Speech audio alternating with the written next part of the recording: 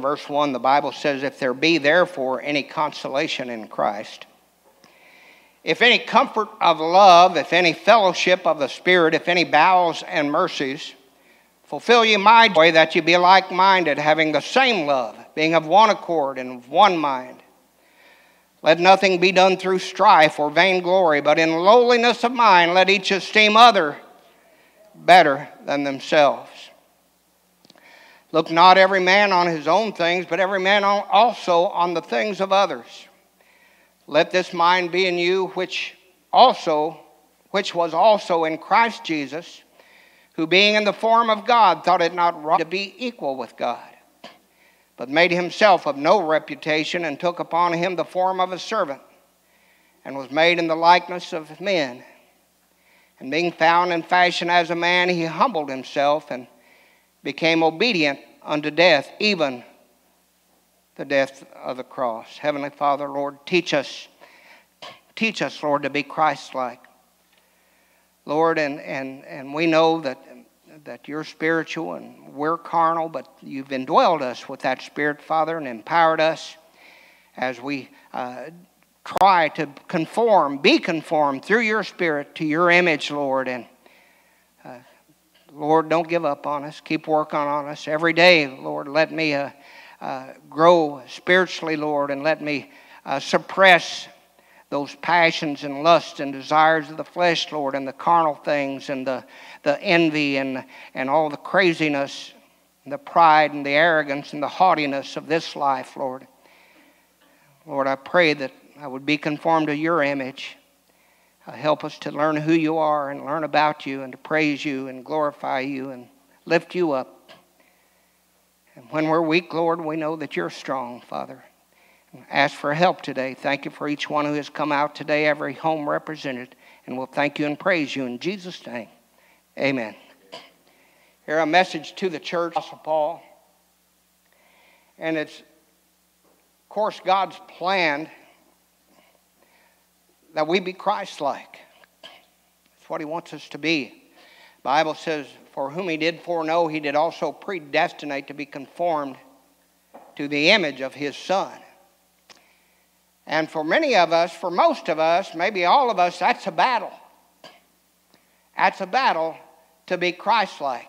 Because as soon as we think we're coming close to arriving, that flesh will rear its nasty head and we'll have a carnal thought or a little temper tantrum or, or something. Someone will cut us off in traffic. Something will happen that will remind us that the closer we get, the further that we actually are because we're carnal.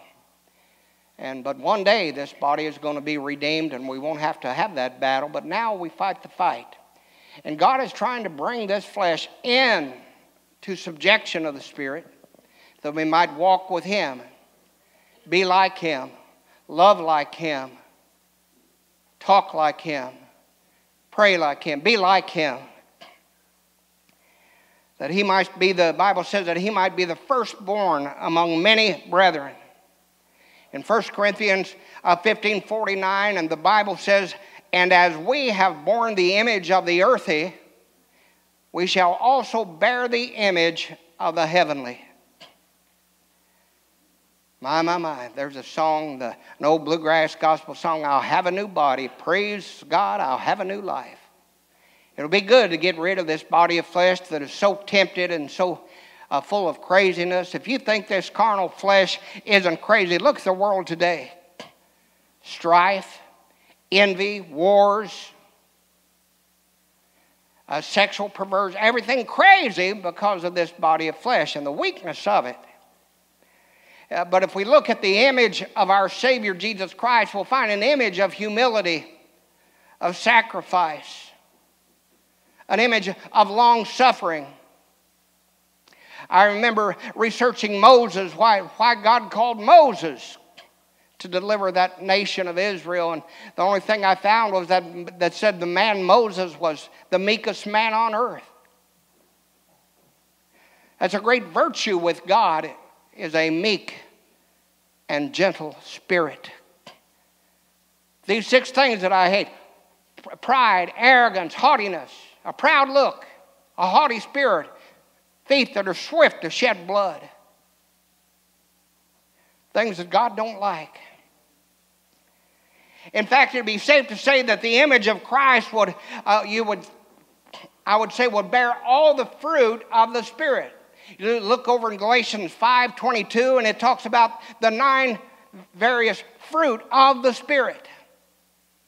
So, this is what the Spirit produces. The fruit of the Spirit is love, joy, peace, long suffering, gentleness, goodness, faith, meekness, temperance. Against such there is no law, the Bible says. Now it says in our text here, it said, but made himself of no reputation, and took upon him the form of a servant. One of the things that we have to learn, that a Christian should learn, is that to not be too impressed in the presence of celebrity. That's sometimes tough to do, you know. And uh, I remember a, a, few weeks ago I went to the National Drags, and my my friend who I've known for you know five or six years is now a big star. Hey, I know him. Hey, hey, how you doing? Austin Prock. He's up for Rookie of the Year at the Top Fuel Drag drag racing from John Force Racing. Man, there were crowds of people around him. Had the, the pits there, crowds of people. I've been around uh, Grand Ole Opry stars, and you'll say, well, I'm hanging out with him. Well, that's good. I used to sit backstage, and me and uh, Barbara Mandrell would sit and drink lemonade and talk about all kinds of things, hang, hang out with that crowd. I remember meeting Jimmy Dean. Remember, Jimmy, Jimmy Dean has a sausage, and he's been dead now for years. But uh, my uncle Harley was with Osborne Brothers. They were playing at the Cincinnati Gardens, and Jimmy Dean was there. He headlined the show. And I went backstage, and because of my uncle, I was able to wiggle, wrangle my way. But I thought, was, I thought I was important hanging out with those. You got to watch out for that stuff. I'll never forget Jimmy Dean when I met him, you know, by a teenager, you know. He said, My pleasure, son. I thought, boy, that's cool. My pleasure, son. Jimmy Dean. But you can't be too enamored with that. You got to kind of, uh, God, our Lord made himself of no reputation. That's hard for us to do. We want to be in the spotlight.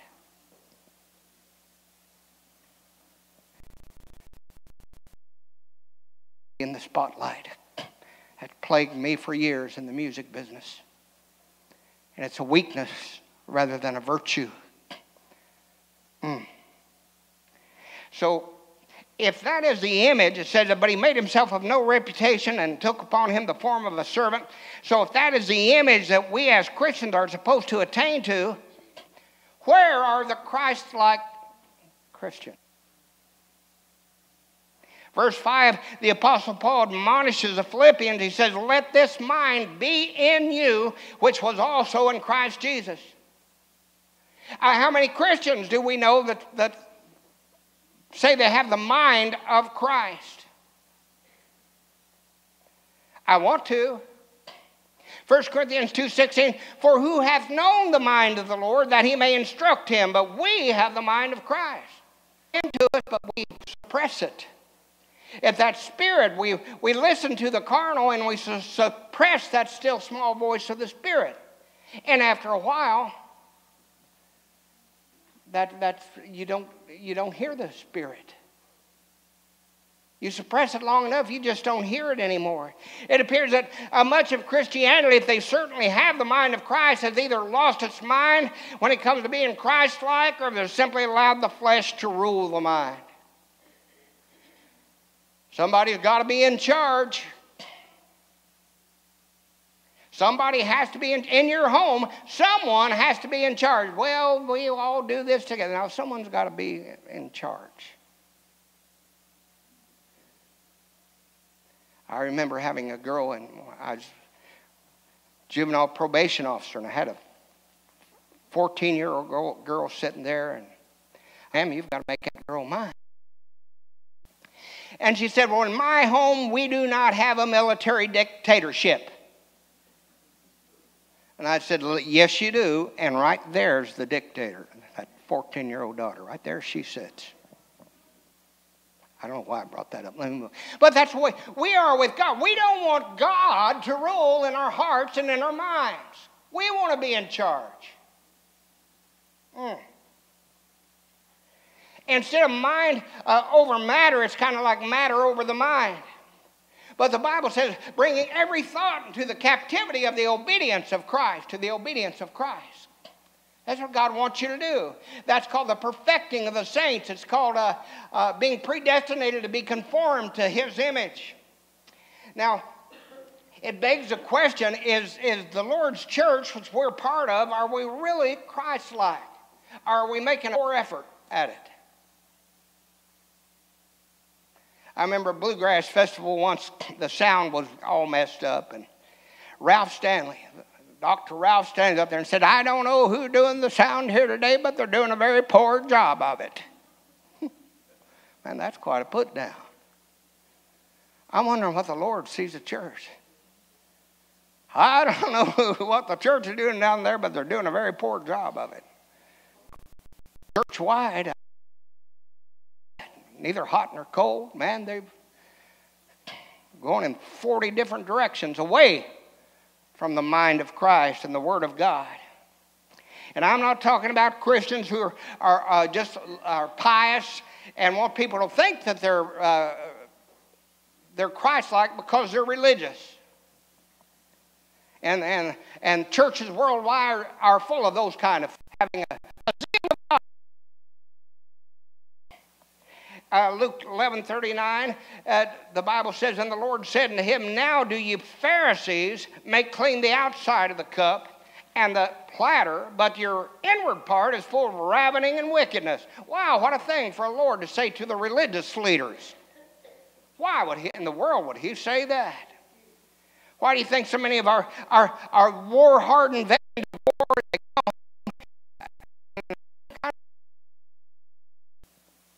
organized religion? Why is that? Because they can see through a lot of show.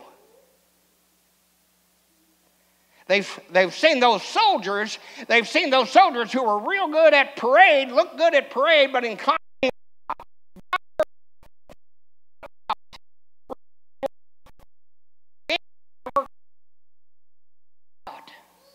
If God can change your heart, then you'll begin to grow and become Christ like. Heard an old black preacher uh, say once that God don't work from the top down.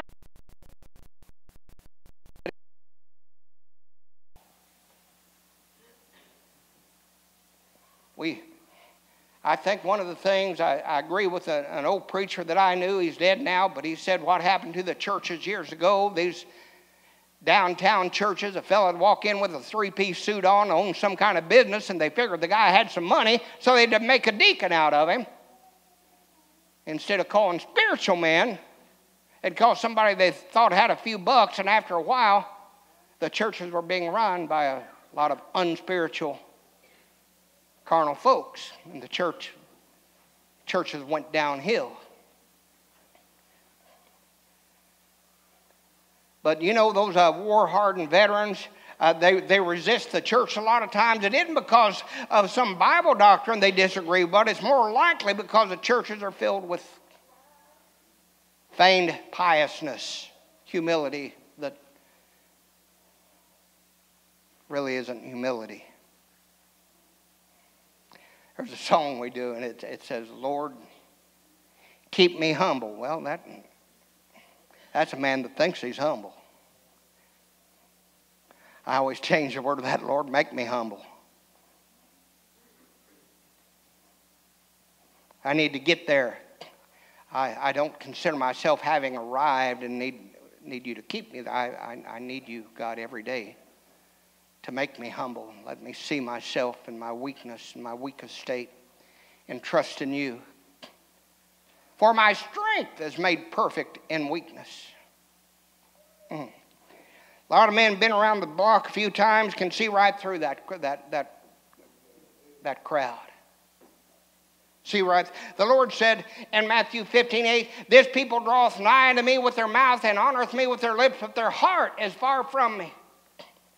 Matthew 15, 16, and Jesus said, Are ye also yet without understanding? But those things which proceed out of the mouth come forth from the heart, and they defile the man. You know what defiles a man? It's the heart. For out of the heart proceed evil thoughts, murders, adulteries, fornications, thefts, false witness, blasphemies. These are the things which defile a man. But eat with, they were um, upset with him because he ate with unwashed hands. It said, But to eat with unwashed hand defileth not a man. See, the problem uh, with the church today is the same problem that they had 2,000 years ago when the religious crowd crucified Christ. A religion works on a man, like I said, from the outside in, while Jesus Christ works on a man from the inside out.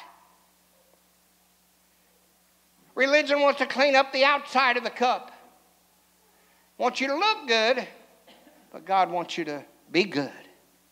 Want you to have a tender heart, a Christ like heart. Religion will try to convince you that if you quit smoking, cussing, chewing, drinking, then you're on the right track. Hey, you can do all those things in the flesh, still have a heart that's cold and it's indifferent.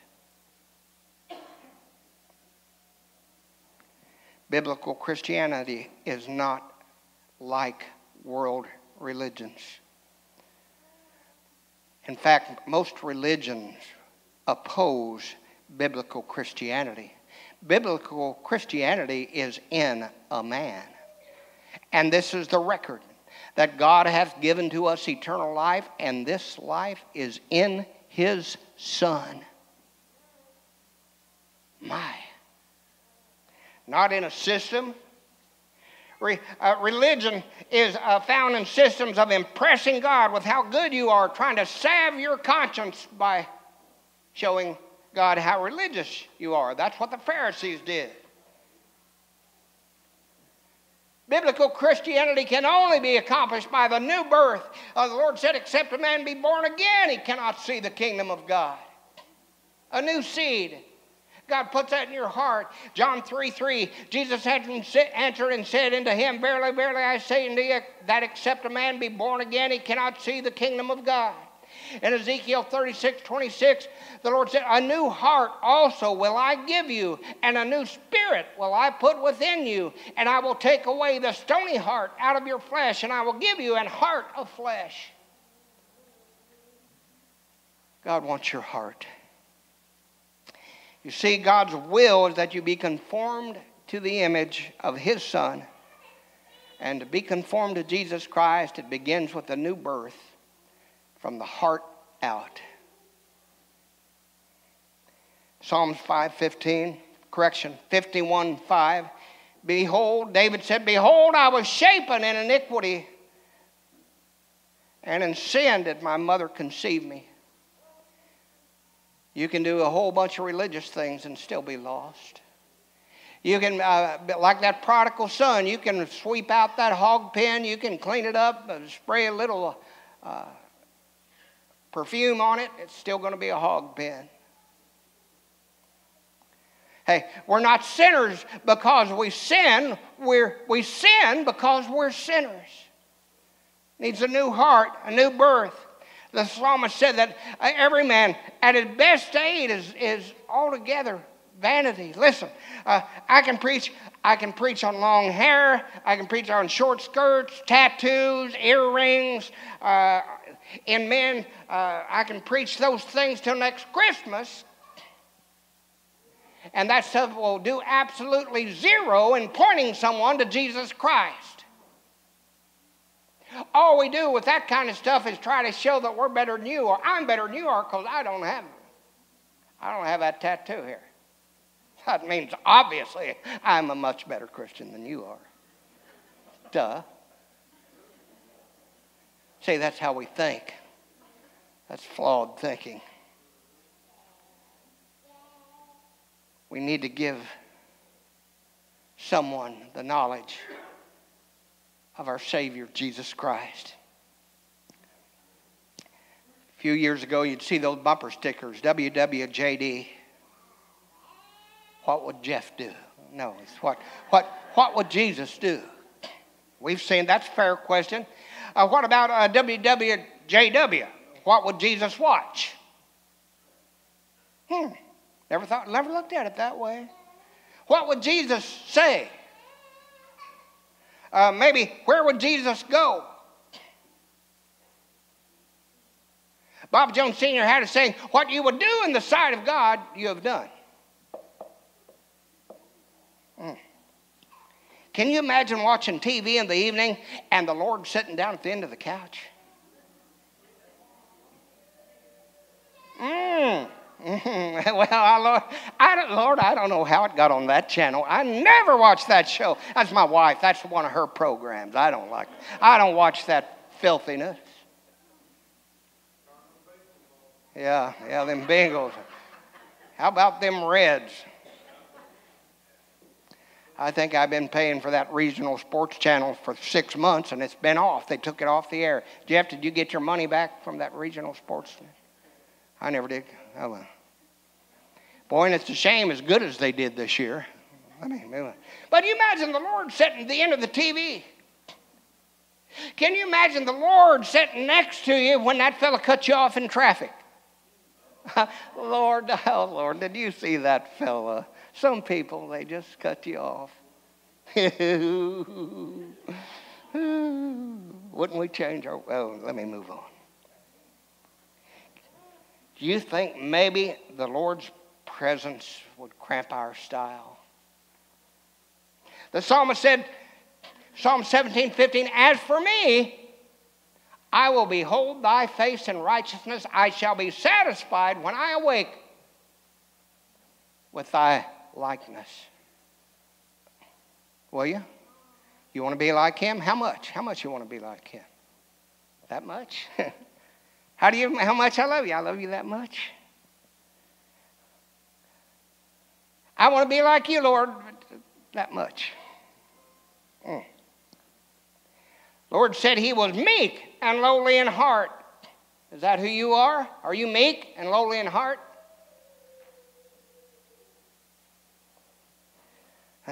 Man, don't get me wrong. I've seen folks, I've seen folks in this church that God has done a flip flop with.